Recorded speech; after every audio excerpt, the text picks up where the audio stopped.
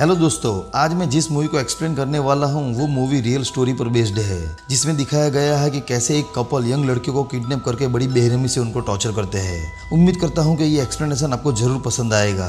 और अगर पसंद आया तो वीडियो को लाइक और चैनल को सब्सक्राइब ज़रूर कर देना। कहानी की शुरुआत में हम एक कपल को देखते हैं, जिनका नाम जॉन और एवलिन है। वो दोनों स्कूल के बाहर अपनी कार में बैठकर स्कूल की लड़कियों के ऊपर नज़र रख रहे हैं। फिर स्कूल की छुट्टी होने पर एक लड़की अपने घर की तरफ़ जा रही होती है। तब वो कपल उसके पास जाकर उसे लिफ्ट के लिए पूछते हैं। वो लड़की पहले तो लिफ्ट लेने से मना करती है, लेकिन वो देखती है कि कार में एक लेडी भी है, इसीलिए वो लिफ्ट के लिए मान जाती है। लेकिन उस बेचारी लड़की को क्या मालूम कि ये कपल कितने बेरहम और कितने खतरनाक है। फिर वो कपल उस लड़की को किडनैप करके अपने घर ले जाते हैं और उसे बाँध देते हैं। जॉन अपने शौक के लिए लड़कियों को किडनैप करता है और इन सभी में एवलिन उसका साथ देती है। एवलिन पहले से ही शादीशुदा है। उसके बच्चे भी है, लेकिन वो इन सबको छोड़ के जॉन के साथ रहती है। फिर जॉन उस लड़की के कमरे में जाता है और उस लड़की को बड़ी बेहरमी से टॉर्चर करने लगता है। उस लड़की की चीखने की आवाज़ एवलिन सुनती है, लेकिन वो उसे इग्नोर करती है। दूसरे दिन हम उसी कमरे को देखते हैं, जहाँ काफ़ी सारा खून पड़ा हुआ था। ये देखकर हमें पता चलता है कि जॉन ने उस लड़की को काफ़ी टॉर्चर किया है, और साथ में ये भी पता चलता है कि जॉन ने उस लड़की को मार दिया है। फिर जॉन उस लड़की की लाश को जंगल में ले जाकर कहीं गाड़ देता है। अब यहाँ से सीन शिफ्ट होता है और हम विक्की नाम की एक टीनेजर स्कूल गर्ल को देखते हैं। विक्की अपने बॉयफ्रेंड जेसन के साथ रहती है। यहाँ पर ये दोनों लेटर्स के थ्रू बातें कर रहे होते हैं, जिसमें हर लेटर से एक सेंटेंस लिखा हुआ था। वैसे विक्की एक चर्सी लड़की है, जिसे नशा और पार्टी करना बहुत पसंद है। विक्की अपने मॉम और डेड से अलग रहती है, लेकिन वो हर हफ़्ते अपने मॉम डेड से मिला करती है।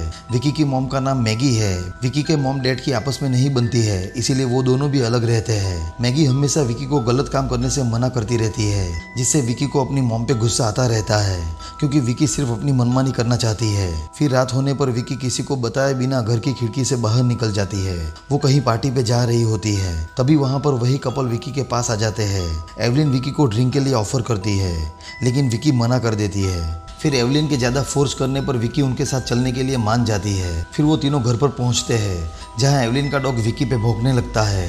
एवलिन उसे शांत कराती है, फिर घर के अंदर जाने पर सभी ड्रिंक करने लगते हैं। विकी के ड्रिंक में जॉन ने बेहोशी की गोलियाँ मिला दी थी, जिससे विकी बेहोश होने लगती है। फिर वो दोनों विकी को पकड़कर उसे बाँध देते हैं। विकी की चिल्लाने की आवाज़ बाहर न जाए, इसीलिए वो विकी के मुँह को बंद कर देते हैं। इस तरफ़ अगले दिन जब विकी की मॉम विकी के कमरे में जाती है तो विकी उसे वहाँ पर नहीं मिलती। विकी पहले भी इसी तरह घर से गायब रहती थी, इसलिए उसकी मॉम इस बात पे ज़्यादा ध्यान नहीं देती।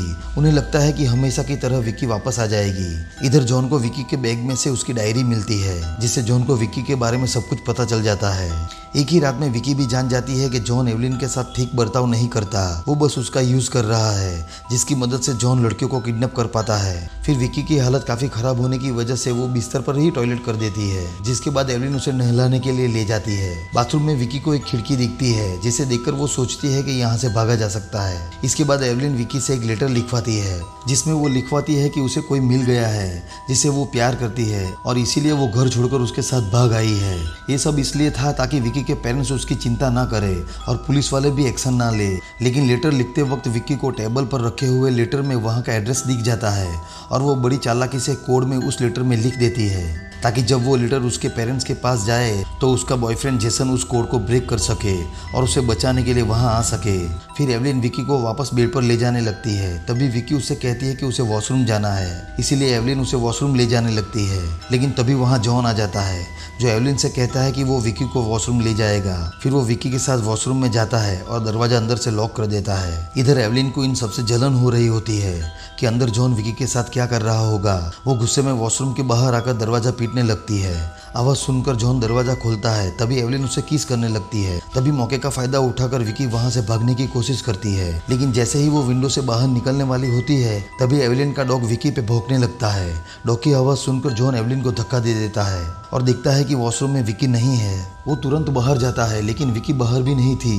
विकी वॉशरूम के बाद टब में छुपी हुई थी। फिर वो वहाँ से निकलकर किचन में जाती है और एक चाकू उठाकर वहाँ से भागने को सोचती है। लेकिन जैसे ही वो दरवाजे के पास पहुँचती है तभी जॉन वहाँ आकर उसे पकड़ लेता है और उसे वापस बेड पर बाँध देता है। तभी वहाँ विक्की की चिल्लाने की आवाज़ सुनकर उनका एक पड़ोसी आता है, लेकिन एवलिन उसे गाली देकर वहाँ से भगा देती है। फिर जॉन एवलिन पे काफ़ी गुस्सा होता है, क्योंकि उसकी वजह से ही विक्की को वहाँ से भागने का मौका मिला था। वो एवलिन को दोबारा ऐसी गलती न करने के लिए कहता है। फिर अगले दिन एवलिन विकी के घर के पास जाकर उसके मेल बॉक्स में वो लेटर डाल देती है। इधर विकी के पेरेंट्स उसकी रिपोर्ट लिखवाने पुलिस स्टेशन गए हुए होते हैं। पुलिस उनकी बात सीरियसली नहीं लेती। वो कहते हैं कि तुम्हारी बेटी कुछ ही देर में वापस आ जाएगी। फिर घर पे पहुँचने के बाद उन्हें वही लेटर मिलता है। विकी के डैड इस लेटर पे बिलीव कर लेते हैं। लेकिन विकी की मॉम इस बात को नहीं मान रही थी। इस तरफ़ जॉन विकी के साथ ज़बरदस्ती करके उसे टॉर्चर कर रहा होता है। तभी वहाँ एवलिन आ जाती है। एवलिन को ये सब बिल्कुल भी अच्छा नहीं लगता। विकी भी जान गई है कि इन दोनों के बीच अगर दर्रा लाई जाए तो यहाँ से निकला जा सकता है। वो एवलिन को बताती है कि जॉन सिर्फ़ तुम्हारा इस्तेमाल कर रहा है। जिस दिन उसका मतलब निकल गया, वो तुम्हें भी बड़ी बेरहमी से मार डालेगा। अब एवलिन विकी की बातों पर सोचने लगती है।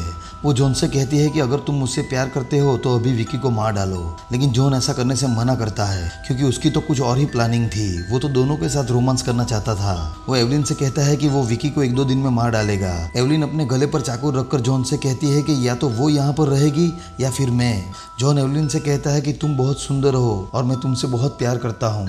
वो लड़की सिर्फ़ हमारी लड़ाई करवाना चाहती है। साथ में वो बताता है कि वो उस लड़की के पास गया था, लेकिन वो बेडशीट चेंज करने के लिए, क्योंकि उसने बेड को गंदा कर दिया था। और अगर उसे इस बात पर यकीन नहीं है तो वो वॉशिंग मशीन में जाकर देख सकती है। ये सुनकर एवलिन वॉशिंग मशीन में देखती है, जिसमें उसे गंदी सीट मिलती है। और इससे एवलिन को जॉन की बातों पर यकीन हो जाता है। और इस तरह जॉन एवलिन को अपनी बातों में फंसा लेता है। फिर वो दोनों विकी के पास जाकर उसे टॉर्चर करने लगते हैं। अगले दिन जॉन जंगल में जाता है। और वहाँ विकी को दफनाने के लिए एक गड्ढा तैयार करता है और वापस घर आ जाता है। अब उन्होंने विकी की हालत काफ़ी बुरी कर दी थी, जिससे वो ठीक से खड़ी भी नहीं हो पा रही थी। इधर विकी के पेरेंट्स उस लेटर को लेकर विकी के बॉयफ्रेंड जेसन के पास पहुँच जाते हैं। जेसन लेटर में से उस कोड को ब्रेक करके वहाँ का एड्रेस निकाल लेता है। फिर वो सभी पुलिस स्टेशन जाते हैं, लेकिन पुलिस उनकी मदद करने के लिए इनकार कर देती है, क्योंकि उन्हें उनकी बात पर भरोसा नहीं था। अब सब खुद ही विकी को ढूँढने के लिए उस जगह पर जाते हैं। इधर जॉन देखता है कि एवलिन के डॉग ने ज़मीन को गंदा कर दिया है, जिससे वो काफ़ी गुस्सा हो जाता है।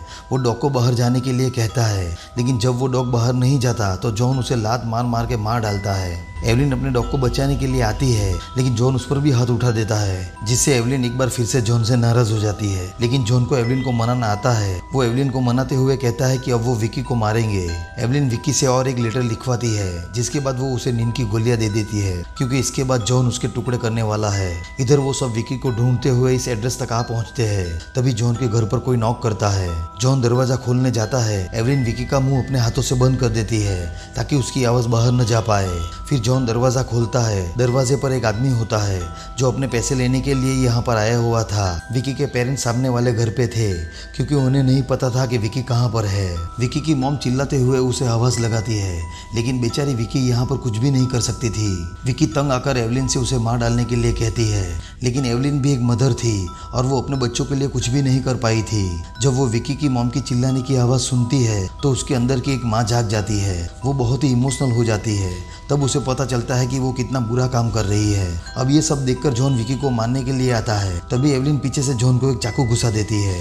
वो कई बार चाकू से जॉन पर वार करती है। विकी अपनी जान बचाकर वॉशरूम की विंडो से बाहर चली जाती है। विकी आज़ाद होकर यहाँ से भागती है। तभी उसके सामने एवलिन आती है। लेकिन एवलिन उसे कुछ भी नहीं करती। विकी की मोम भी यहाँ से जा रही होती है। लेकिन वो कार के शीशे में उसे देखकर रुक जाती है और दौड़ते हुए अपनी बेटी के पास आकर उसे गले लगा लेती है। और इसी के साथ ये सच्ची घटना पे आधारित मूवी यहीं पर एंड हो जाती है